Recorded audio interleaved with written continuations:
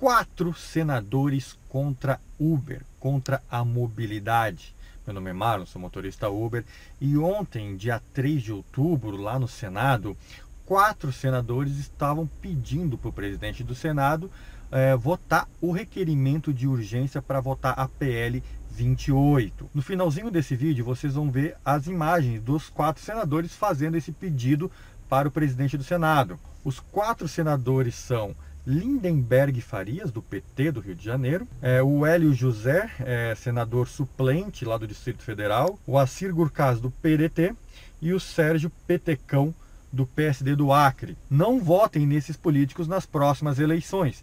Eles são contra a mobilidade urbana. Eles querem que você, motorista, não tenha mais renda e eles querem que você, passageiro, pague muito mais caro pela sua locomoção, pela sua mobilidade. É ridículo ver o jeito que eles falam no Senado, tentando ludibriar o presidente do Senado, falando mentiras dizendo que não era para a extinção do Uber e dizendo até que já tinha passado pelas comissões. E é nessas horas que nós, motoristas e passageiros, tem que mostrar ações nas redes sociais desses senadores. Aqui em cima ou aqui embaixo tem uma lista de senadores que você deve pressionar para não votarem no requerimento de urgência. É uma lista de senadores bem menor. Digamos que apenas aqueles que são mais influentes sobre o assunto. Ou seja, ao invés de a gente falar com todos os senadores, a gente fala só com esse número reduzido de senadores colocando todas as nossas forças em cima desse número reduzido e assim criando mais impacto. Eu mesmo já deixei minha mensagem para todos os senadores e você deve fazer o mesmo. Agora veja a cara de pau desses senadores. Senador Lindeberg,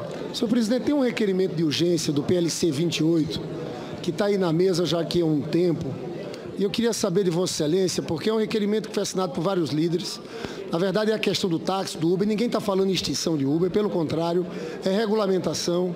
Eu queria consultar Vossa Excelência a saber quando é que a gente pode pautar, pode ser votado esse requerimento de urgência. Já foi? Eu quero Senador dar Liberto, apoio. Tem um requerimento de urgência, mas simultaneamente tem um pedido. Tem um requerimento dos líderes, feito inclusive naquele dia do almoço, lá na minha residência, é, para que essa matéria tramitasse nas comissões na questão de regulamentação. Mas eu verei e amanhã. Porque amanhã, eu, na verdade, falei com o senador Otto Alencar, e, que estava na CCT. Ele disse que o processado veio para cá, porque houve um pedido da mesa. Senador Assis Gás. Para reforçar o pedido do senador Lindeberg, para que a gente possa votar a urgência do projeto para regularização do Uber. Nós já fizemos a audiência pública de todas as comissões debatemos o tema e está protocolado na mesa a votação de o pedido de votação de urgência para que a gente possa fazer essa votação. Já já foi protocolado na semana passada, está só aguardando Vossa Excelência pautar, senhor presidente. A mesa atenderá Vossa Excelência é, assim que possível. Senador Petacão. É a respeito da proposta dos taxistas. Nós iríamos votar hoje, eu não sei por que, que não votamos. Tem alguma, eu gostaria que o senhor me respondesse, se for possível, quando é que vamos votar a urgência desse projeto? Por favor.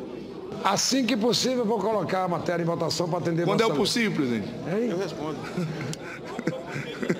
Todos já votaram? Só quando o morcego Eu vou encerrar a votação. Senhor presidente, José.